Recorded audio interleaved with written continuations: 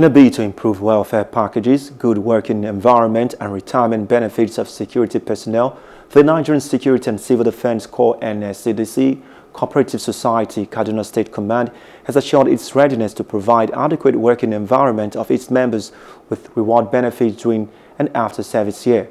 The cooperative investment aims to encourage saving habits and monthly contribution of personnel to provide access for affordable facilities, easy procurement of commodities to boost their morale and guarantee better life after retirement.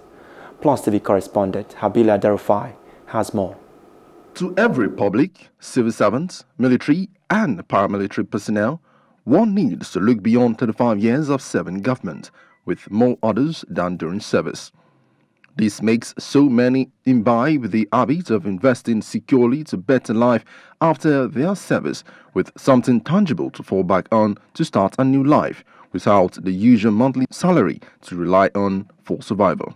The Kaduna State Commandant of Civil Defense, who is the grand patron of the society, Idris Yahaya Ada, says the core mandate is to secure lives and properties of the citizens, noting that they prioritize personnel's welfare packages with a good working environment for efficiency and service.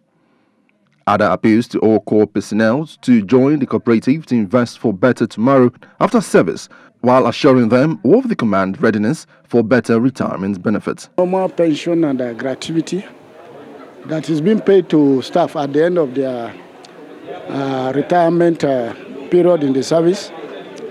Uh, the cooperative, as you just witnessed, is a kind of contribution by uh, individual uh, towards the the retirement period. It will be kind of beneficial to uh, to the contributors.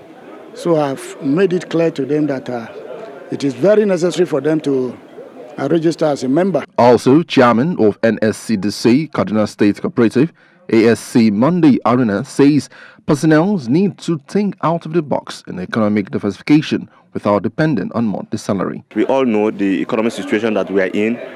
If you depend on the salary that always come, if you are not careful, one day something might happen with that salary, and once it didn't come, you'll be in for it. But if you think outside the box by at least involving your hands into other things that are so productive again outside, like let's talk of uh, agriculture, invest on agriculture, invest on industries, I believe it will help in boosting the income of the society. We called on all personnel to be diligent and disciplined in contributions to society which will guarantee rewards and benefits after the service years, stressing the need to avoid financial indiscipline and extravagant lifestyles without plans ahead. On every member to ensure able to contribute at least 5% of his monthly salary.